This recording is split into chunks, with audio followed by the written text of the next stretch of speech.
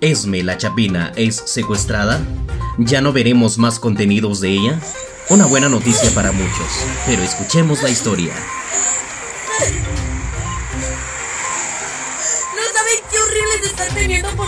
Una fuente policial aseguró que Jorge Luis Peneleu, de 27 años, quien presuntamente es su conviviente, presentó una denuncia este miércoles alrededor de las 5 de la tarde.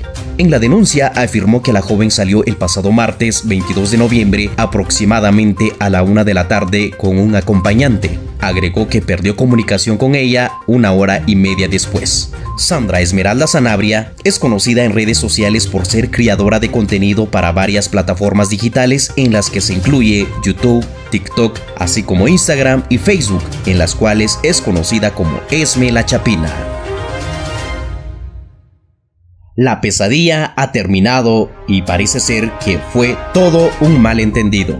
En la cuenta de Twitter de la alerta Isabel Claudina se confirmó que fue ubicada. Además, la creadora de contenido publicó en su página de Facebook un video de 22 minutos en el cual explica que no se sentía bien emocionalmente y que necesitaba desconectarse de las redes sociales. Cualquier otra persona que me ve, yo también tengo problemas.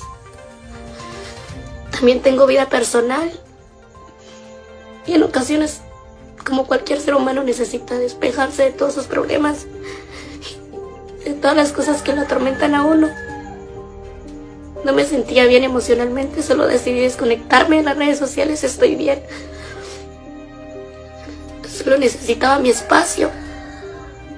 Ustedes ya lo sabían que yo tenía problemas familiares. Que he tenido muchos problemas familiares y con esto de lo de mi casa han estado sucediendo más y más. Y llegué a un punto donde ya ni siquiera me sentía bien, ya no.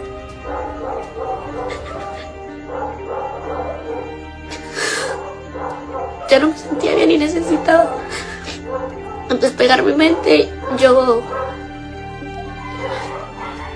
les voy a contar cómo está todo. Hay un gran malentendido. Yo simplemente como ustedes sabían, yo ni siquiera estaba durmiendo en mi casa. Tenía problemas con mi mamá. Es más, a mi hermana ya ni siquiera le hablo.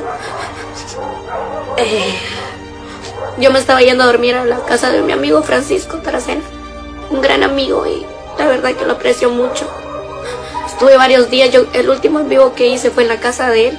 Estuve varios días yéndome a dormir a la casa de él, pidiéndole posada mientras yo termino de construir mi casita que tenía muchos problemas familiares ahí en la casa de mi mamá.